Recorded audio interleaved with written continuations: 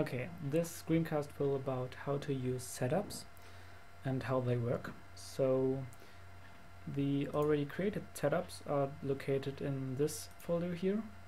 There are also sample setups. If you you have to check that the DroidAR project is not a library, so go to the preferences and Android and see that this is not checked here, and then you can run the DroidAR project as a normal application. Um, yeah, and then this um, this activity would be launched as a main activity and there you can try all the easy demo setups.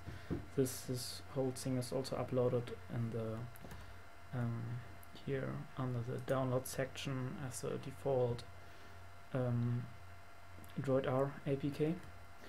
So let's create a new um, yeah setup and yeah for example we could already added here as our setup. Let's call it uh, new setup. Not the best name I know. Okay. Let's create this class. It will extend setup.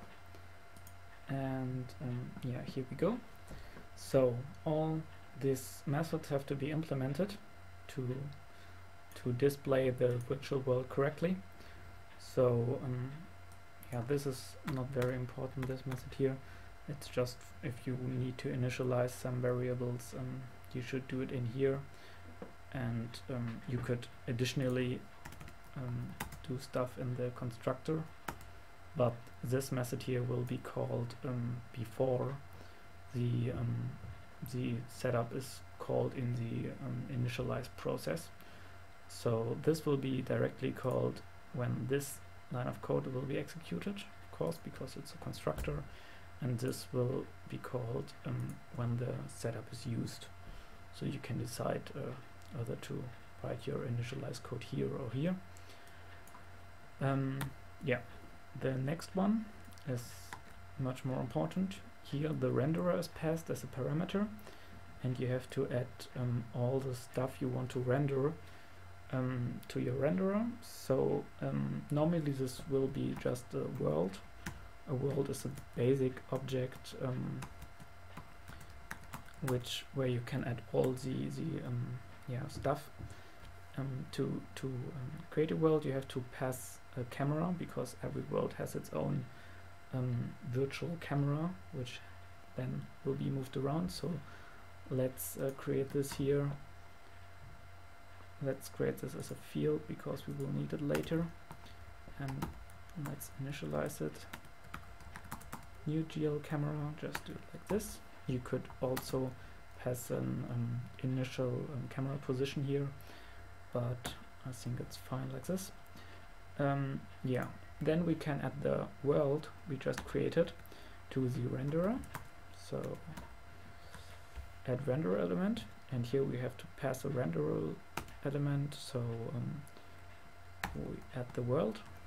We could also um, add you can create your own renderer elements it would look like uh, like this here there's just this draw method which will then be called every time uh, every um, cycle when something is rendered and you can use the GL stuff to just render things normally here as known from OpenGL. So um, yeah now we added a world a GL camera and maybe we should make the world also a field. And um, yeah then we can add stuff to the world. Okay maybe I will do this later here. Just um, add some we can use here we can use the object factory. I also already passed it as a parameter. So um, we could create some I already created some example new solar system.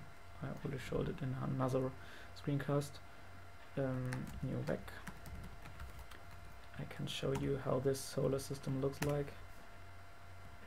It will just be a simple object and to this object then all these um, mesh elements will be added um, here set component there, the, the outer mesh component will be added. And in this outer mesh component, there will be all the, the stars and stuff like this. And yeah, the same way we could add any other thing. So um, just create some objects here and, and add them to the world and yeah, that's how you render stuff. So um, now we have um, the, the render stuff done. The next thing is how to um, yeah, control things. For example, you have to um, you have to add um, some control mechanisms to control the virtual camera. I will show this by using uh, something else. It's called the default AR setup. I will just go in there and um, here I already did those stuff. So I created a, um, a virtual world and um, here I, I add the, the world to the renderer and uh, I create a, a GL camera and then in the, the part where I have to set the actions to the events I um, use the past event manager and register a new action and um, this action here um, this will rotate um, the camera according to the um, accelerometer and the magnetometer of the device. And the other one here will be used um, by yeah using the, the GPS data and stuff like this the location of the, the device and um, position the, the virtual camera according to this location. And um, yeah again check the the um, the parameters and the Java doc and it should be explained and just play around a little bit. And for you can for for now you can use the default stuff and let's copy this one to our um, to our method here. And yeah we call it GL camera this time. So let's rename this. So um, now we set all the actions, so our camera will be rotated correctly and it will be moved correctly. And um, oh, this one is um, if we want to uh, use um, the touch screen to move the camera. Um, yeah, additionally, you can see it's uh, the same. Um, yeah, the same action as uh, for the trackball action, and uh, it would be the same action to add. I can show all the other actions. The location changed action would be the same stuff, so we could again copy this here and um, it will automatically move our uh, camera. Yeah, right, I just realized that I told something wrong in the, the uh, default AR setup. Um, this of course will use the trackball and this will use the GPS location and this will use the touchscreen. And it's all the same. You could um, pass always the same objects and you don't wouldn't need to create uh, three different objects. Okay. Yeah. That's for the the action event manager stuff system. I will maybe I should create an additional small screencast to explain this more detailedly because um, yeah, it's important to understand the action system and how you create your own actions and uh, progress them and uh, process them. And let's go to the next step here, the um, add elements to update thread. Here you have to add your um, world to the updater. So add object to update cycle, and here we add the world. And then um, I can show again how these update elements look like. New updatable. And this will just have one simple method, the update method, and this will be called uh, from time to time every 20 milliseconds. And um, yeah, this way the all the objects in the world will be animated. And um, yeah, that's how you you do animations and stuff like this. And then if you add some world, uh, some objects on the world, then these, for example, the solar system will rotate because it has uh, rotate animation, and yeah, that's that's the stuff you have to do in here.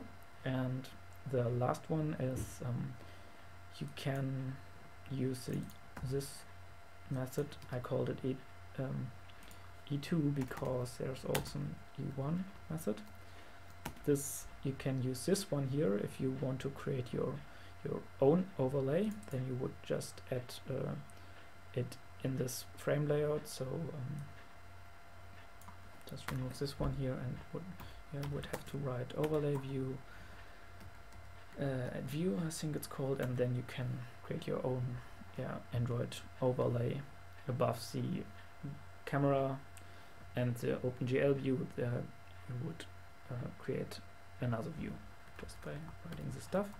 But you can also if you don't need all that complicated stuff you can also use this one here and use the UI setup. And there you could you have some uh, already implemented methods like add bottom to bottom view and um, yeah just just check out what you can do all the stuff are already implemented a lot of um, standard UI features. And maybe it's enough for you otherwise you should use a E1 method. Um, yeah another important thing you should know is the add info screen method. You can display a small yeah, info screen to the user when starting the AR activity um, by just adding some information. Add text or text with icon and then this this information will be displayed um, yeah in a nice way to the user um, when he launches the, the um, AR activity. And yeah I use this a lot to display some information how to for example how to um, calibrate the compass and stuff like this. And um, yeah that I think it's really useful. And if you don't need it just don't implement it and then it won't be shown. Um, yeah that's basically it. How to um, use these setups. Okay um, yeah let's go into the setup. And I will shortly show you how this stuff all works. We have these different setup steps and they will be all executed automatically when you start a setup and in here you yeah the, the setup will call your methods and um, thereby um, yeah use your custom setup. And uh, yeah for example this one here and, and here and here are all the methods you just implemented. And um, yeah the rest um, you should leave it just like it is. It, it works uh, this way and it's uh, um, yeah. Sort of complicated let's say it like this. Um, I think that's the most important part um, uh, about how to use setups and um, I recommend you to just um, check out how all the setups um, work. Just um, yeah take a look at all the stuff in here a lot of them are really short. So for example the collect item setup where you walk around and collect the big rotating red arrow. There again I create a camera a world and um, the arrow. And um, then um, some some logic. Uh, yeah I created the mesh for the arrow and um, what should happen if I'm close enough to the arrow then it should be collected and the catch counter should be increased and stuff like this and uh, add it to the world and um, then I add the world to the renderer and mm, I initialize the, the actions again and um, yeah. The, the, update stuff and uh, some information to be displayed to the user at the beginning. Yeah um, I think that's it and my time is nearly over. Only 50 minutes so um, yeah that's it. Um, if you have more questions just post it to the issues part. Uh, just create a new issue here and uh, ask what you want to know. Thanks for watching